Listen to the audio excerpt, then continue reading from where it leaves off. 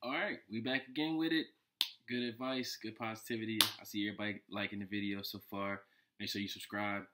Um, I'm gonna say this first. Do not feel bad for doing something good for yourself.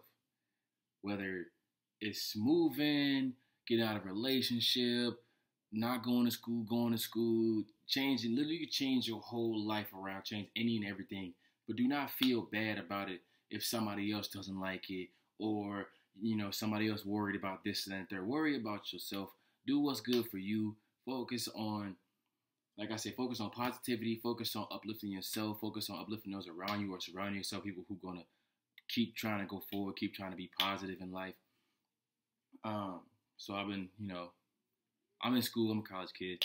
Uh, somebody was like, "Oh, why you think you need to make videos about this and that? You only such and such." It doesn't matter how old you are, where you from, where you grew up at.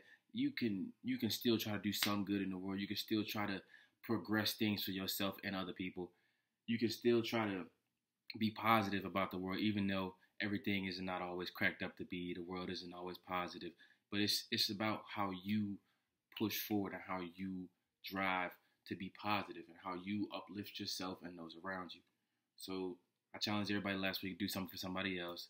Uh, I want to hear your thoughts, hear what you think, what you did, you know, what worked best for you out of my video, stuff like that. And for this week, like I said, don't feel bad about doing something that's good for you.